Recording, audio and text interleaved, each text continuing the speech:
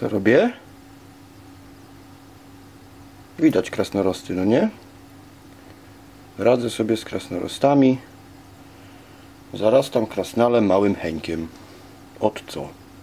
Mokre Łapska TV, witam Państwa serdecznie w ten weekendzik po raz kolejny. Tak, nie dam żyć, nie dam żyć. Głównie sobie. Można by odnieść wrażenie, że od kiedy ta 25 stoi i zaczęła jakoś tam działać, to Mokre Łapska zamiast się nią cieszyć, to ją próbuje zabić. Mm. Czy tak jest, czy tak nie jest? Nie wiem, można by się z tym zgodzić. Natomiast, ym, owszem, mnie strasznie jarają piękne akwaria roślinne yy, i fajnie mieć. Natomiast ym, jeszcze bardziej jara mnie to, jak się je robi.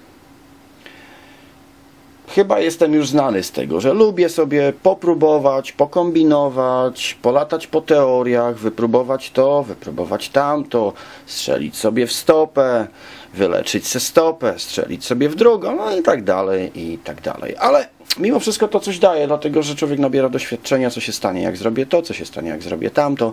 Teoria teorią, oczywiście, ta teoria jest, natomiast ciężko ją sobie wygrzebać spośród yy, rynsztoka, jakim jest internet. Tak, bo internet jest rynsztokiem według mnie. Yy, natomiast Mm, można by odnieść wrażenie, jak mówiłem wcześniej, że tą 25 próbuję y, unicestwić. No i pierwsza próba, wyrwanie trawnika na ziemi bez siatki, zastąpienie go czymś innym. Nie powiem, że to akwarium się nie zachwiało, bo tak. Znów wróciło troszkę pylenie szyb, ale nie wyskoczyły żadne nitki, natomiast krasnorosty troszkę więcej y, się zaczęły pojawiać. No ale no, mają większy dostęp y, do światła, do, do tych, do żarcia, no bo tych roślin mimo wszystko mniej. Glossostigma już sobie rośnie całkiem fajnie. Powinienem ją przyciąć w tym tygodniu. Mm, Wszystkie te kępy, które idą jeszcze do góry, a nie na boki, ale mi się nie chce, szczerze mówiąc. No tutaj jak wiadomo, jak trafiła. No to lawa liczy po prostu w dwóch różnych jakby warunkach. Staram się ją y, rozpoczątkować i zobaczymy, co z tego wyniknie. Krasno, krasnorostami jakoś bardzo się nie przejmuję, ale w ogóle to dobrze, że ja nie zrobiłem ym, filmiku, a miałem chęć, jak sobie radzić z krasnorostami i o co z nimi chodzi. Bo coraz to nowe kwestie mi wyskakują. Na przykład zawsze myślałem, długo myślałem, że dysproporcje między magnezem i y, wapniem, mm, za dużo wapnia, za dużo fosforu y, stymuluje krasnorosty. Bo gdzieś tam czytałem, że y, błona, ściana komórkowa y, krasnorostów zawiera jakieś podwyższone y, te poziomy wapnia i, i, i- krasnorosty lubią ten wapń.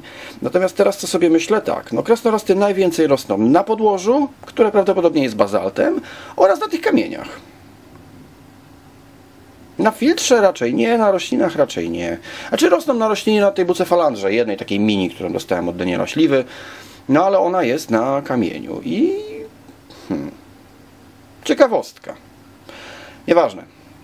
O czym ja dzisiaj chciałem? Ano o tym, że skoro nie dałem rady zabić tego akwarium wyrywaniem trawnika, to może wypróbuję sobie moją bolączkę tutaj. A moją bolączką w nawożeniu jest to, co ja powiedziałem wczoraj. Proporcje potas, magnez, wapń. Strach przed pierdzielnięciem żelazem. Yy, I generalnie taki strach przed glonami, którego ja się staram wyzbyć. Nie bać się. Zrobić sobie troszkę glonów, ale coś tam sprawdzić. Tak czy siak, postanowiłem rozpocząć kolejny tutaj mój mały eksperyment i wypróbować podejście pana Jacka i pana Przemka. No może pana Mirka też troszkę. Zobaczymy, co z tego wyniknie. Obmyśliłem sobie taki plan diabelski. W zeszły piątek w pracy, jak kombinowałem, co ja w tych moich szkłach dzisiaj odpierdzielę. I wymyśliłem sobie takie coś. Zresztą Aquaplant też mnie do tego troszeczkę natknął. Każdy po troszku. Wymyśliłem sobie takie coś, że eliminuję potas z dziennego podawania w ogóle. Yy, odstawiłem Rebela z, tej, z tego akwarium, wróciłem do mojej starej 8% takiej suchej mieszanki żelaza i mikro i ona nie zawiera ani magnezu, ani potasu. Czyli daje tylko mikro i żelazo, ale nie, nie, nie fajdam sobie w żadne inne parametry. Tak? Tak. Nie chcę tego skomplikować. Dalej. Yy, dziennie podaję NH4NO3 oraz KH2PO4 w stosunku 1 ppm NO3 oraz 0,1 ppm PO4. No jeżeli będą deficyty, to wiadomo, że więcej, ale równiutko w proporcji 1 do 10, raczej nisko. Dalej. Podnoszę żelazo konkretnie do wartości około 0,304. Ale żeby tego nie skomplikować, to zacznijmy od wody do podmian. Wymyśliłem sobie takie coś. W piąteczek podmieniłem dokładnie 50% wody, nie bacząc na parametry, jakie tam są. Skoro wiem, że w mineralizatorze mam 25 mg na litr pypymów, jeden chuj wapnia, 6 magnezu, a więc w wodzie do podmiany ustalam 10 ppm i ani kropli więcej. E, czyli stosunek 1 do 2 w kierunku trochę mniej nawet. Ym, potasu i taką wodę robię sobie do podmian raz na tydzień. I to wszystko. Aha, i tam jeszcze tak podbijam żelazo, żeby po podmianie w wodzie między 0,3 a 0,4 było pół ppm, przyznam, boję się. Um, oraz wymyśliłem sobie takie coś, że w ciągu tygodnia będę tutaj monitorował to żelazo i cały czas trzymał je mniej więcej na równej wartości T0304, czyli ty w tygodniu w, w dawkach dziennych podaję tylko żelazo mikro, y, azot oraz fosfor. I tak sobie to wymyśliłem, że a nuż w takim podejściu nie doprowadzę sobie ani do kumulacji, ani do blokad. Przy założeniu, że za tydzień znowu wymieniam 50% wody oraz w tej wodzie, którą już wlewam do akwarium, ona mi już ustala idealne proporcje wapń, magnez, potas, żelazo. I tak właśnie ten eksperyment zaczął się dwa dni temu. Ja jestem troszkę obsrany, bo przyznam szczerze, już wszystkie kwestie, znaczy wszystkie kwestie ogarnąłem, to, to, to, to, to brzmi górnolotnie ale bardzo dużo kwestii już ogarnąłem, już sobie z nimi radzę. Natomiast jeżeli chodzi o przeliczanie blokad, kumulacji oraz uzupełnień, to znaczy, jakby to nazwać, przy podmianie wiadomo, że bardzo dużo tego, co już w wodzie jest, się wylewa. I to zawsze miałem to pytanie, czy to należy uzupełnić, czy należy po prostu zredukować całą dawkę y, tego, co w wodzie jest i tygodniowo, dziennie sobie to podawać i to się tam jakoś tam kumuluje. Także wymyśliłem sobie taki patent. Nie wiem, czy nie zagmatwałem, czy jest to w miarę, w miarę zrozumiałe. Jeżeli się przejęzyczyłem i powiedziałem potas zamiast magnes, to sorry, bo mi się to bardzo często zdarza. Natomiast no reasumując, z wodą do podmian wlewam już idealne proporcje wapń, magnez, potas oraz żelazo. Co do tego NH4NO3, kiedy zacząłem to używać, bo zostało mi to w jakimś sensie polecone, natknąłem się jeszcze na pewne ostrzeżenia oraz komentarze, że to jest, że to nie wolno, że to jest niebezpieczne, że to tylko jako dodatek. Nie mam prawa powiedzieć, że tak nie jest. Ludzie, jest kupa ludzi, którzy znają się o wiele lepiej ode mnie. Natomiast yy, dozuję już tylko NH4NO3 w 220 od yy, dwóch tygodni, jeżeli dobrze liczę. Półtora, dwa tygodnie. No ale jak się wbiłem na te, na te, na te, na te straszaki takie, że, że to jest jednak niebezpieczne, kupiłem test NH4. Mm, i zacząłem to badać, no bo jednak no lepiej dmuchać na zimne. No i cóż, no po całym tygodniu podawania tylko i wyłącznie NH4NO3 mm, zbadałem sobie NH4, bo później przyjechał mi test i właściwie NH4 mam poniżej wykrywalności testu. Czyli kolor testu był właściwie żółciuchny. I, i, I tyle. Bałem się, że ten H4 gdzieś tam podskoczy, ale tutaj jeszcze warto pamiętać, że mm, sytuacja może być inna w akwariach o słabej biologii albo z czyszczonymi filtrami często, albo y, w nowych. Także tutaj nie wiem, co by było. Ale nic, no czas pokaże.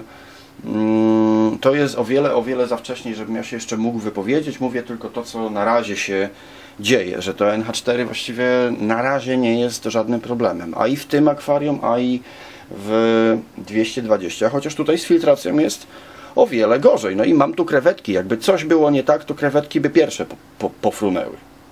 Także no, mm, jak mówię, no jeżeli chodzi o jedyna rzecz, z którą ja się jeszcze borykam, to są y, blokady potas-magnes, ewentualnie fakt, że ja się po prostu pękam pizgnąć żelazem.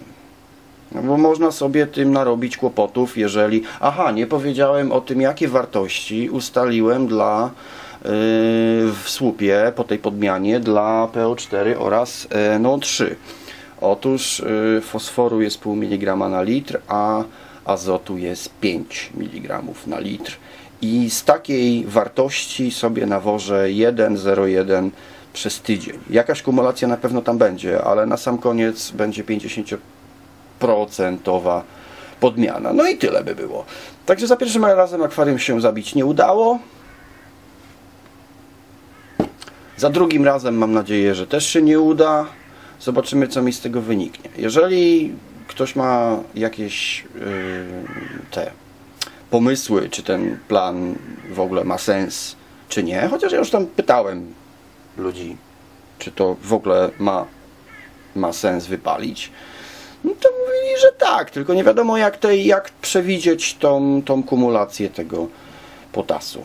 A ja tego szczerze liczyć trochę nie potrafię i jestem z tego cienki jak rumuński rosół. No.